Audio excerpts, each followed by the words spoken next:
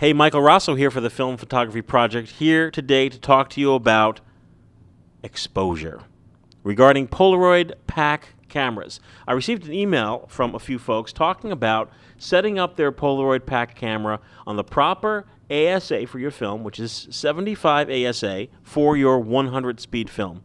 Yet their photographs have been coming out dark. Their images have been dark. Here is the Polaroid 104. Now, on the 104 and other models, you have two choices color, 75 ASA, or black and white, 3000 ASA. Here's the 420, 75 ASA, or black and white, 3000 ASA. That's it. But on some of the more sophisticated Polaroid cameras, you have multiple aperture adjustments that you may not be unaware of. For example, right now it's on 75 ASA, but if you look in your lens, you'll see that the aperture is stopped down. And here is the key to, here's the answer to your question right here.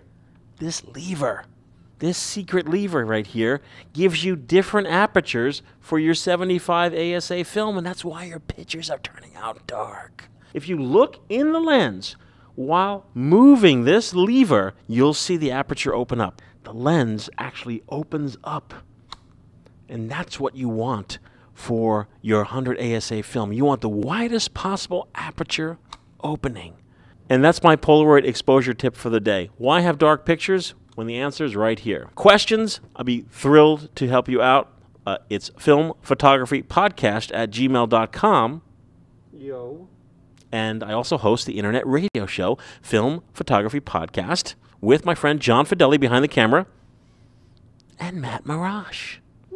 So we're on twice a month, filmphotographypodcast.com. Until next time, enjoy shooting.